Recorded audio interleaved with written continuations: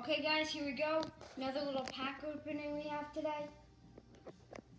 We got um, a gold ball player pack and two standard packs. Let's open the standard first. Alright. Got this.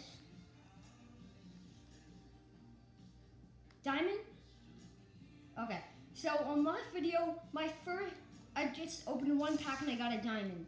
I didn't think I'd get a good card out of one pack. That's why I didn't make a video on it. But now we're making a video. It's not. This is not a giant pack opening, but because these packs are all free. Okay, we got old bronzes. Not great, but now we're on to the gold ball player pack. Okay, let's see what there is. I'm gonna I'm gonna take this. I'm gonna take this and this.